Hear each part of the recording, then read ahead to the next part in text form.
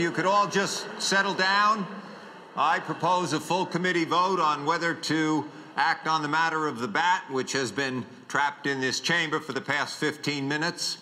Uh, all those in favor of attempting to. Oh, uh, uh, all those in favor of attempting to capture the bat say aye.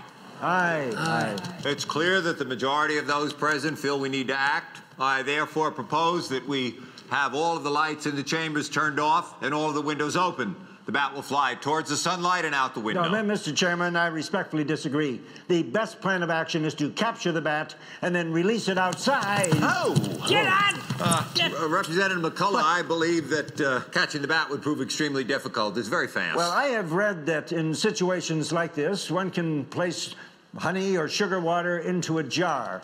And then when the bat climbs into the jar to drink it... Representative McCullough, Waiting for the bat to enter the jar could take hours. We need immediate action. Now, I propose to put a piece of fruit on the table, and when the bat comes down to eat it, we simply clamp a large bowl over it. We don't have a large bowl. And that oh, plan geez. would require us to move faster than the bat. I maintain simply turning off the light and waiting for the bat to leave is the best option. If you do not think my bowl plan is tenable, then I suggest what? acquiring what? a large fan and blowing it towards the window or making it uncomfortable so he just leaves.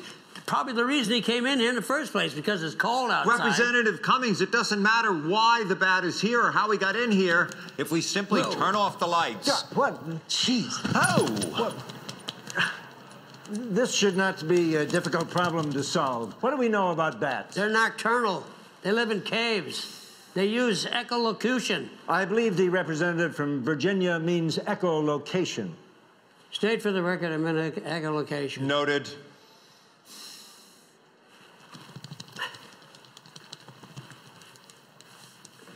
I move we take a recess so I can call my brother. His first wife was a veterinarian. Well, if we're going to call anyone, we should call 311 and have them send over animal control. I was not aware that 311 had that service yes, included. 311 can be used to receive information and to access city government programs. It is woefully underutilized. Excuse me, gentlemen, but a few years ago, I had the pleasure of spending an afternoon with an 89-year-old woman in Bowman, South Carolina. Oh. She was active in her church. She had worked hard all her life. And on that particular afternoon, a bird flew in the house and she simply solved her problem by turning out the lights, leaving the window open, letting the bird leave on its own. And I just believe moment, that that just is the... a moment. Where is it? I believe it flew out the window. Excellent. Then we can proceed with our scheduled discussion of uh, HR 210. Oh, go! Could somebody there call it is. security?